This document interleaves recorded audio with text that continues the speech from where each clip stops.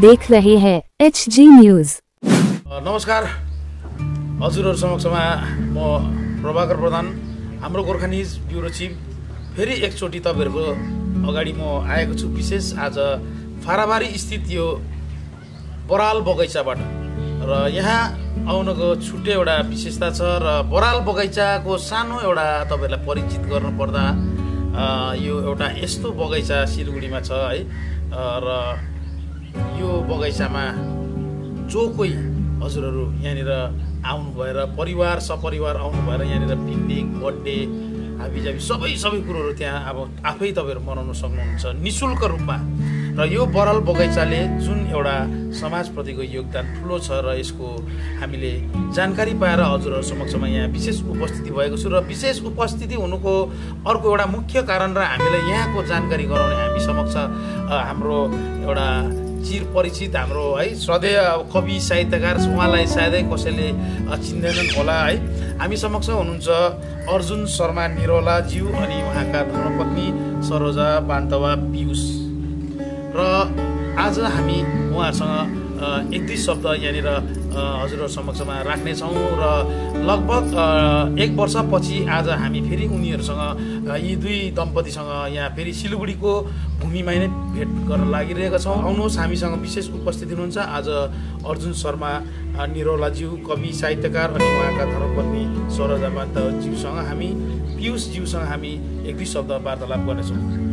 अर्जुनज्यू तपाईँलाई एजी न्युजमा स्वागत छ र भाउजू सरोजाज्यू तपाईँलाई पनि हाम्रो गोर्खा न्युजमा स्वागत छ। हामी शरद अर्जुनको बराल बगैँचा नेपाली बत्ती फाराबारी सिलगढीबाट र विशेष आज हामीसँग एनजी न्युजका दुई दिवाकर प्रभाकरज्यू यहाँ आइसक्नु भएको छ। नमस्कार र सर्वप्रथम हाम्रो एजी न्युजलाई स्वागत छ। हामी कहाँ आइदिनु भएकोमा र हाम्रा दुई वरिष्ठ पत्रकार रिपोर्टर हाम्रो गोर्खालीहरूको समक्ष मात्र नभएर अन्य जाति हरेक भारतभरि छरिएको भारतभरि बसेको कुनै घटना होस् कुनै प्रकारको अचम्मको कुनै कुरो घटना भए उहाँहरू तपाईँहरू समक्ष पुगिरहेको हुन्छ तपाईँहरूले देखिरहनु भएको हुन्छ र उहाँहरू हामीसँग हुनुहुन्छ र हामी असाध्यै खुसी छौँ सरोजाजुन र तपाईँलाई धेरै धेरै धन्यवाद छ। यहाँ आउनुको मुख्य कारण त मेरो स्वास्थ्य स्थिति हो र स्वास्थ्य जाँच गराउनु भनेर सिलगढी झर्नुपर्ने। फेसबुक मार्फत श्री अरुण बराल दाजु जो यो बराल बगैँचाका अनर हुनुहुन्छ। उहाँसँग हाम्रो भेटघाट भयो। फेसबुक मार्फत भेटघाट भएपछि दाजु गीत कला आउनुभएको थियो। बराल बगैँचामा चाहिँ तपाईँहरू कहिलेदेखि हुनुहुन्छ यहाँनिर? हामी बराल बगैँचा आएको मोटामोटी अब तिन तारिक जनवरीमा आएको एक महिना हुन लाग्यो। मेरो उपचार चलिरहेको छ। हाम्रो गोर्खा न्युजबाट अरुणज्यूलाई पनि धेरै धेरै धन्यवाद छ। यहाँ आएँ म यहाँ आउनमा अलि अघि छुटेछ र यहाँ आउँदाखेरि अब अरुण बराल दाजुले धेरै कुरा गरिरहनु भएको छ।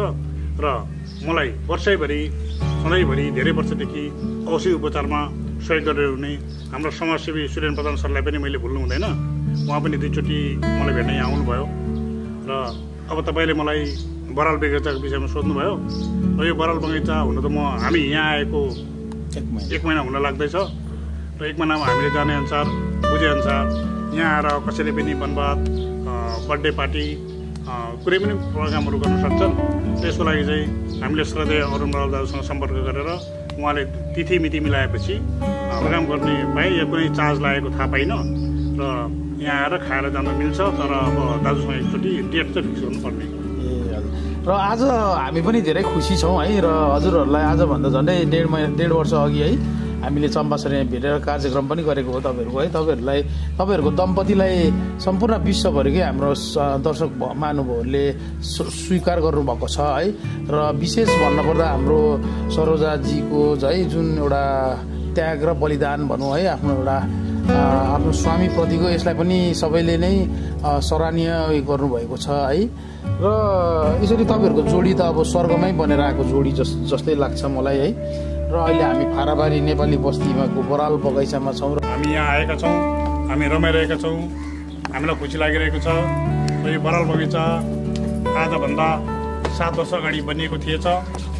र जसरी हामी आयौँ हामी यहाँ आएको कुरा त मैले तपाईँहरूलाई भनिसकेको छु।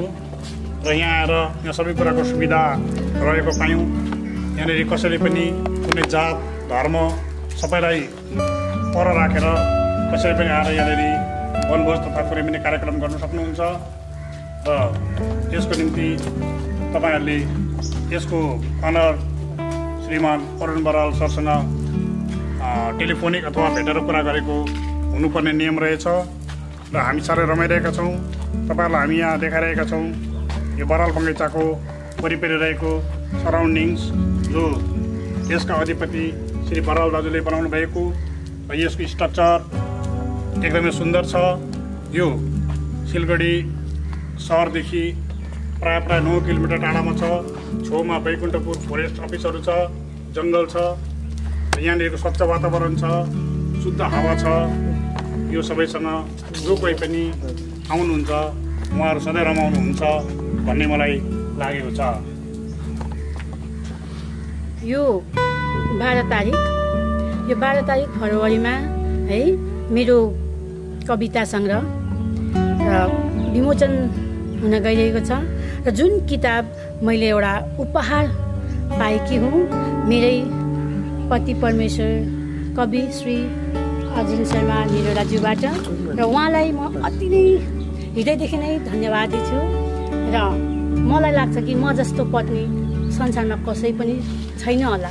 किनकि मेरो पति परमेश्वर विलचेयरमा बसेर पनि उहाँले आफ्नो पतिलाई एक्सपोज होस्। आफ्नो पतिको पत्नीको जति ट्यालेन्ट छ यसलाई उजागर गर्नुपर्छ भनेर उहाँले टेवा दिने काम गरिरहनुहुन्छ सधैँ सधैँ। र यसको लागि म अति नै हर्षित छु। मेरो पति परमेश्वर। किताबको नाम चाहिँ म रहस्यमै राखिदिनेछु र सबै दर्शकबिन तपाईँले हेरिरहनु भएको छ हाम्रो एजी न्युज सुनिरहनु भएको छ। एजी न्युजद्वारा मैले तपाईँहरूलाई प्रसारण गरिरहेको छु। बाह्र फरवरीमा मेरो कविता सङ्ग्रहको विमोचन हुन गइरहेको छ। र किताबको नाम एकदमै रहस्य छ। विमोचनको जग्गा अनि कति बजी हुनेछ र कहाँ हुनेछ र उहाँले बताउनु हुनेछ विशेष यिनले भनिहालिन् कविता सङ्ग्रह जुन चाहिँ नाम नबन्नु भनेको चाहिँ नाम त मैले मुखमा आएर मैले भनिनँ।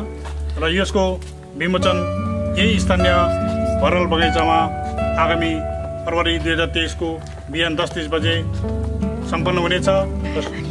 खाराबारी नेपाली बस्ती यसको स्थानीय ठेगाना हो। खाराबारी नेपाली बस्ती सिलगढी बरल बगैँचा सम्पन्न हुनेछ।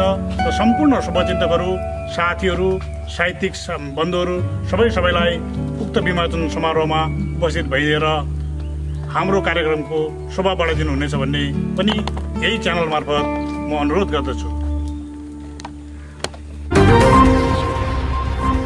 आप देख रहे हैं एच जी न्यूज़